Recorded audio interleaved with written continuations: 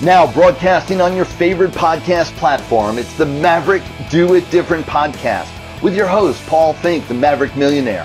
When you want to step up and dare to be different, when you will dare to be great and live up to your fullest potential, when you are ready to dare to be a maverick and live the life of your dreams, filled with abundance, passion, and joy, then it's time to listen to me, Paul Finck, the Maverick Millionaire, and the Maverick Do It Different podcast.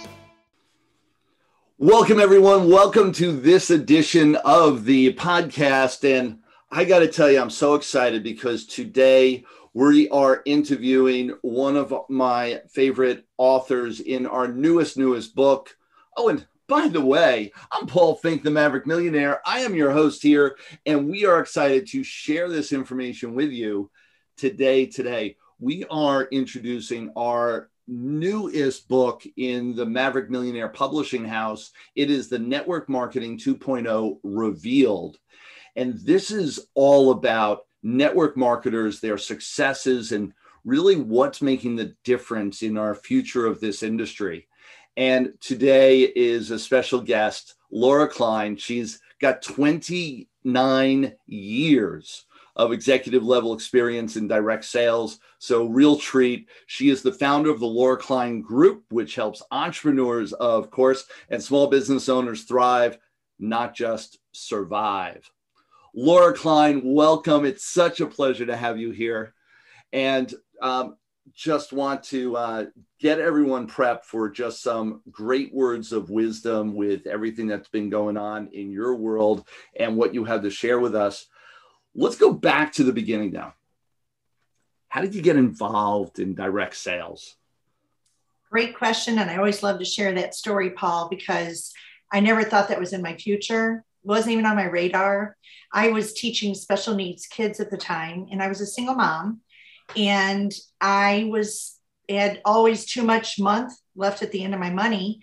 And a friend of mine reached out and said, Hey, Laura, I have this opportunity that might interest you. And, and right away, when she told me, I was like, uh, you know, it's not for me, not for me. And then as she kept pressing, I finally caved in and said, okay, I'll read some literature. Let me let me see what you got to offer. So I kind of read it and I thought, oh man, I just don't know if this is for me, but what the heck, I'll give it a try. I was still teaching. And once I started um, that career, and it was very part time for me in the beginning, I realized, oh my gosh, I can make a career doing this. I love it. I love selling a product I believe in. I love helping others. And it just fit. And it's funny because 29 years ago, um, I had said to her, could I make $500 a month doing this? And she said, well, I don't know, but pretty sure you can. You know, it was no guarantee, but right away I did. And then I got hooked. So that's kind of how I got started. it, it is such a common story in, in that no, no, no, no, no. And then you take a look. And it, one of the things that I encourage everyone to do is really be open, open to the opportunities that present themselves every day because you never, never know. Mm-hmm. With everything that you've go, been going on, you've created some mantras, if you will, business mantras. Um, share with us. So one of the things, um, it's funny, I was told early on in, in my direct sales career, if you really want to be successful and get to the top, you only have to work half days. And I thought, only half days. I mean, I'm putting in 40 plus hours a week being a teacher, more than that probably. And I thought, half days, that sounds like a dream come true. Well, little did I know, half days meant, well, half of 24 hours is 12 hours a day. Right. So there's no, you know, no dream story that says you just hop into direct sales or, you know, a network marketing company and just going to turn um, turn it around and, and be successful in a short amount of time, it takes work and it takes effort. And one of my business mantras, um, and I have this on my LinkedIn banner, and it says, when you when you get tired, learn to rest, but never quit. And that is really what this is all about, yeah. is not giving up too soon. I see too, too many people give up too soon when their next person to add to their team is right around the corner. Maybe their next sale is right around that corner. So I, I find that people just give up way too soon. It, it's not um, a business that's for the faint of heart. It's for people that see a vision and are willing to stick with it, even when things, you know, it's a cyclic business. So it goes up, it goes down. You just got to stay the course. so powerful and especially with what's been going on the last couple years in our world the the ones that are succeeding now and the ones that are here with us on the podcast and the authors the co-authors in our book and all those all the people that are kept on in this process are the ones that are showing up to be the true leaders now in this new world. And so many people have fallen by the wayside because they literally just put their head under the under the covers and have stayed there for way too long. Right, that is correct. And it's such a shame. Love, love your pups. They're going crazy. Um, the uh, uh, and it's such a shame though because our, our fullest potential is inside of us, and so many people die leaving it there rather than letting the world see it. And uh, so we share in that message: never, never, never quit. No question so people that are getting involved in network marketing and like you and i did the same thing no no no and then i started looking and, and watching what was possible and got involved how does someone actually succeed actually climb the ranks actually create that magnitude of results well, I apologize for my pups because they I do foster. I do a lot of uh, work on the side, and so they're in the background. Sorry about that. Oh, um, oh no, it's okay. And before you answer that question, I got to remind everyone: one of the greatest things about network marketing and about being an entrepreneur is you get to do it from home. That's right. Whether you have, you know, pups as your children, real children, or a combination of all the above, you have a life and you can create that life and live it every day. So I want to tell you that's a reminder to all of us. Man, we can do this everywhere. I am in my home. Laura's in her home. And for all of you that are looking at this that are in corporate America and being forced to go back into an office, be aware there's an alternative life that yes, you can be living. There is. And I appreciate that comment. I, I actually um, raised five children in during my direct sales career and I had all kinds of interruptions coming in, you know, Sally stepping in my shadow and I'm like, oh my gosh, kids, you know, puppies. How, how old are your kids so, now? Well now they're they're grown adults and you know it's interesting paul because you i'm going to go back to and answer your question here in a bit but yep. what's really interesting is i you know sometimes there's a lot of guilt when you're growing a business and you're trying to grow it fast and you're very committed um, to the process i never felt a lot of guilt because I, I felt that i was doing my children i was teaching them that there's more to this world than that traditional course that we've been taught by society that we should take which is go to school, graduate. I went, I got a college degree because that's what my family, that's kind of the expectation is you go to school, you get a degree. And there's nothing wrong with that course of action, as I mentioned in, in my chapter, but there's so much more out there. So back to your um, question, and I, I would love to answer it is what is the tip? How do, how can you reach those levels of success? I think it's pretty easy. I think it's having a vision, knowing where you're going, and just taking enough people along with you on that journey and not thinking of it as I'm going to build this because I'm benefiting. No, I'm going to build this because I want to take others on this journey so they can experience the same things I'm experiencing. So I think it's just having a vision. I always say people don't want to follow people into a dark cave. But if you tell me how you're going to get from point A to point B and how you're going to get out of that cave, I'll probably follow you. So it's it's having a I want to follow people. I want to surround myself with people that know where they're going. So I think that's the first tip is to know where you're going. Have a vision. People are attracted to people that have that vision and the tenacity to, to get through those rough times these last 18 months. So stay in the course. People want to be around strong people.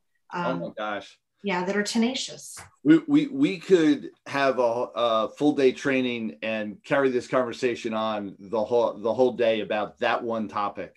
Yes. The the magnitude of having a vision and of exhibiting uh, and you and you were talking about that at the at the very end exhibiting that confidence mm-hmm. in it and sharing that confidence. People will follow you anywhere yes. when you're doing that. And that's how you build the team mm-hmm. to really create the magnitude of results for everybody.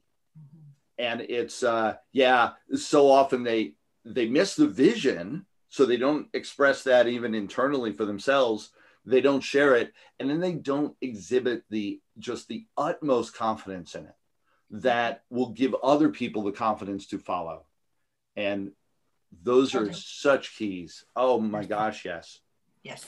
Totally. The the uh the the magnitude of those components combined with the perseverance of never quitting uh, really can play just play out to create either zero or just your mega success um, by those differentials yes and i also want to add too that credibility is also important so i run into a lot of people that I call them jumpers. They go from one thing to the next and they never allow themselves to gain credibility. And, and those people are hard to follow because they do jump. And I think the jumping comes from, well, I tried that. They don't give it enough effort, but I, am going to the next thing. Uh, that didn't work. I'm on to the next thing. If you keep jumping, you really, really damage your credibility. So people are looking for people that have a vision.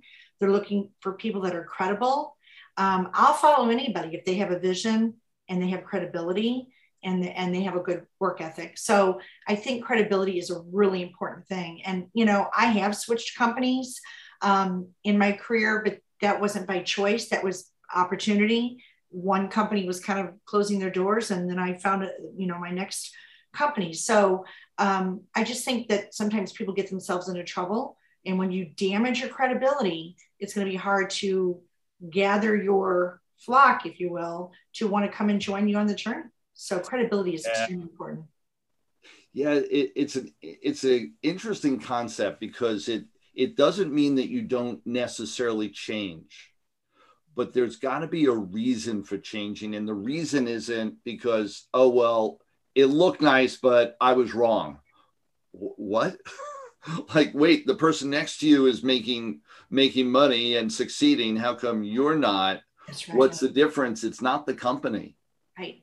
It, it exactly take right. take, take a real close look. It's you. It, there's so often and i went through like 20 years of, of background of of being an entrepreneur before i found huge success and it was it was really understanding that when this isn't working this isn't working this isn't working you better start looking internally because you're the common denominator right? Yeah. that's right. Yeah so so powerful. Yeah these are you know if we had to boil down like what is it that makes the difference? And you talked about work ethic. Uh, you talked about perseverance. You're talking about that that vision and really being that credible leader um, and walking the talk is, sounds like that's um, so much of what you're what you're expressing is uh, being the person. Yeah. And I know with everything that you're doing, you're you're exhibiting that yourself, and it it shows. Yeah, and I think that's the other part of leadership is I never ask anybody on my team to do anything that I'm not willing to do. So if you want followers and you want people to come and do what you're doing, then you have to do it. Yeah. You have to do it and then teach it. And though some will, some won't, and we all know what happens. So it's just there's so many people out there willing to work. We just have to keep looking. And they're out there. There's people out there that are wanting a different kind of lifestyle. And they they not only um, you know the financial benefits of what direct selling and network marketing can do for somebody. But to me, I tell people you can't put a price tag on freedom. And I feel like I have ultimate freedom in my life. Here, here. What? How long? So you've been in um, direct sales for 29 years. Yes. When did you leave like uh, any sort of semblance of a job? Okay, so yeah, I was, um, and and you know, I had a lot of family members, and I talk about this in the book. I had a lot of family members and friends that said, "Are you out of your mind? You're a single mother. You have the security of this nine to five job. You have tenure with this school district. Are you out of your mind?" Right. And I thought, no, I'm not out of my mind. I'm just trying to think out of the box here. I don't want to be in a classroom and I'm not teachers are the most amazing people on this planet, but I didn't see my I just it just wasn't fulfilling my aspirations. That's all. And I knew there was more. Um, so my family was like, "Are you nuts? What do you What do you mean you're going to go off and sell X, Y, and Z? That's crazy." So it took me. My goal was to make at least what I was making um, as a teacher, and then I thought if I could make that and continue to see that over time, that I could have income replacement, then I'll walk away. Well, it was an income replacement. I had doubled my income within the first full year in in yeah. business, and that's when I thought okay, it's just keeps, you know, it's just that consistent income, seeing it and seeing the growth over time, I knew it was okay to walk away. And it did. My family was in shock. Uh, that my my father, God rest his soul, he just sat there and shook his head and, and he said to me, I hope you know what you're doing. And if you ever, he always gave me that out. If you ever need to move in with me now, you know, if it doesn't work out. And I said, that's not an option. I'm going to make it work. So looking back, you just got to take that uh, leap of faith and work hard. Work hard and and do what you say you're going to do and show people show people that you did it. And and that it goes back you know I, I did it i showed people and it goes back to that credibility. So yeah, yeah. It, it took me probably a year. I stayed in teaching one more year just to make sure oh sure. So so you created a, a plan for transition. Yes. Only so how long ago was that? That was well 28 years ago. So oh my gosh. Yeah. yeah. So i jumped i jumped ship and i even had teachers in the teachers lounge whispering. They're like has she lost her mind? What is she yeah. crazy? And yeah. now you know then you know they come back to me now. They see me 29 years later. They're like oh my gosh you did exactly what you said you were going to do. And you've lived an, an amazing life and i'm like yeah yeah, and for everyone who's listening, it does take sometimes the 29 years before people come back full circle and go, "Oh, I guess you were right." Yeah, yeah. and and they start then reaching out to you for advice. Yes. Only don't expect it right away. Yeah. oh no. Happen. Well, there's pride and there's, you know, told you so and, and it's all that. But most of my family members and friends have all come around and said, you know what? Man, you definitely, you That's definitely awesome. proved us wrong. So and not that that's what my intent was it's just people say things out of love and concern right. and um, but you know i wasn't going to listen i always say listen politely to the naysayers and do what your gut tells you to do anyway yeah so. I was I was in the same boat. I had six children, sole income provider for the family, and I've always been an entrepreneur. I've never worked for anybody a day in my life, and and believe me, right out of college, went straight commission and my own company and people are like are you nuts are you insane yeah. and and it's so for all of you it that freedom that mm. it gives you and mm. the lifestyle that i now have because of the choices i made uh, really makes a difference. That's it. The money's great but there's freedom is greater. Yeah yeah. What a great message. Awesome yeah. awesome. So uh, what's next for you?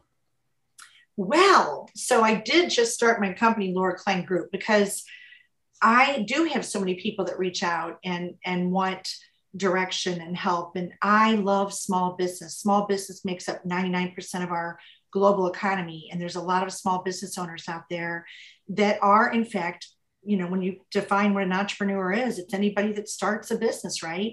So my goal is to help these businesses and entrepreneurs thrive instead of just survive. And awesome. COVID really uh, punched us all in the gut. And I have a lot of sales strategies in my head that I just really want to share. And I know I can help people. So I'm still involved in my direct sales career. Um, and, and, it's wonderful that I can do that, but that it, it has allowed me to pursue my ultimate dream, which is to have a company that, that can help others. So that's kind of where I'm headed now. I plan to do more writing. Um, I'm on a speaking gig right now, so I'm kind of doing some speaking. Just want to share my trials and tribulations and everything I learned in those 29 years because I certainly didn't do everything right, but I did a lot right. And I want to share that with others so they can have maybe an easier journey of, you know, getting where they want to get to faster and, a, and a lot less painful. Oh, that's awesome. Yeah, so exciting. We got so much more ahead of us. That is great. So we've got a fun lightning round to to close out. Okay. And so got a couple questions for you. What's a book that you would recommend to our listeners? my favorite book in the whole world, Success Principles by Jack Canfield. Oh, Read the first chapter and you will get drawn in. And it's all about accepting 100% responsibility for everything you do, whether you have a failure or a success. We accept 100% of our responsibility for what we do. So, favorite book. Yes, love it. awesome. Yeah, love that one as well. Uh, favorite movie? You know, I have a lot of favorite movies. The one that stands out, I just love Jerry Maguire. I love that movie because it's a story about someone who it's all about belief and I, isn't aren't we in the business of believing in others right and sometimes we see people's potential before they do Yeah. and in that movie nobody else saw was willing to give him the time of day except jerry you know jerry maguire so i love that movie because it's kind of talks it, it reflects my and, and aligns with my career Yep. no one thought i could do it and then i hooked up with the right people right company and i did it so jerry Yeah. maguire That's it. Him and his goldfish. Yes. and favorite singer and band? Oh, I'm a country girl. So I love anything country. I could name all these country bands. Um, Luke Bryan, I, I, I was first row on one of his concerts and I, I stared at him like a teenage girl. I don't think he even looked at me, but I, I felt like he was looking at me, but I know he wasn't. Yeah, he's awesome. Luke Bryan. Awesome. Biggest passion? So I will tell you the older I get, the more I want to give back and serve others in the community. So I just recently um, became a board member for Feed My People. I do a lot of fundraising for NAMI. I have someone in my family that um, struggles with mental illness. Um, I'm a dog lover, obviously. The podcast showed that. So I do a lot of fostering and fundraising for the local Humane Society and Stray Rescue of St. Louis. So giving back is really important to me. And again, my career choice has has given me the freedom to be able to have the time to give back. And I'm doing more and more of that as, as I get older. So giving back, total passion. here. Yeah. Here, here. Yeah. As we develop our careers and develop our profession and get it, get, create all the abundance, we realize, oh, wait, there's more. Yes, And uh, and the giving back is the is the rest of the story. you betcha. Yeah. I want to live my last so many years. So we'll see. Final words of wisdom. We've got listeners all around the world, uh, all around the country, every corner, uh, every walk of life, you name it. Oh, they're looking at this, they're listening to this, and they're and they're scratching their head. All right, what do I need to know? What are words of wisdom that you can share with them? So, probably my biggest words of wisdom is the chapter, the name of the chapter in, in, in the book that's about to be published, and that is follow your gut. You know, um, and not every decision we make is going to be right, but sometimes you have to believe in it before other people do. And if you work hard and you stay focused and you never get up and rest when you're tired, but never give up, and you stay that course and you work those half days, you can have anything you want if you're willing to have the vision, gain credibility of followers, talk to as many people as you can, and just never ever lose your drive, your vision, and and always remain passionate about what you're doing. Laura, we are on the same page on so many levels. Absolutely believe in everything that you're doing. Uh, words of wisdom for everyone to pay attention to. Absolutely. Everyone needs to go back and listen to this podcast one more time because there were nuggets every single moment. Thank you so much for being here, Laura Klein.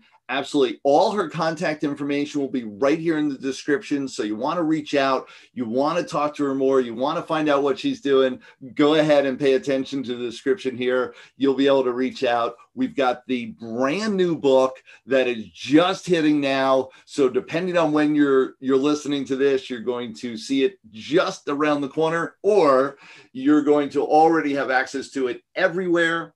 Uh, this is Network Marketing 2.0 Revealed, and it's how everyday marketers are reshaping the industry for a new generation. And there definitely is a new generation coming.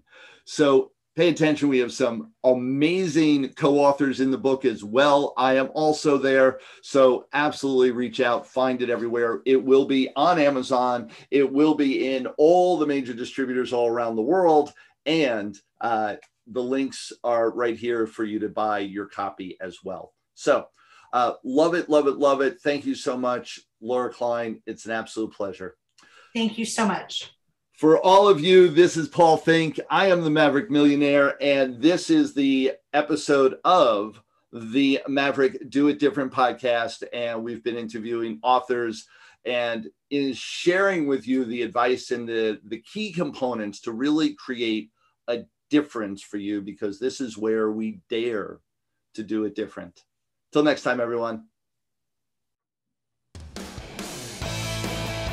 Thanks for listening to Paul Finck. That's me, the Maverick Millionaire, and the Maverick Do It Different podcast. You can listen to us anytime 24 7 on your podcast listening platform of choice. Introduce us to your friends, give us five star rating and subscribe, and share us across all your social media platforms to anyone that could really utilize this message right now. Till next time, everyone.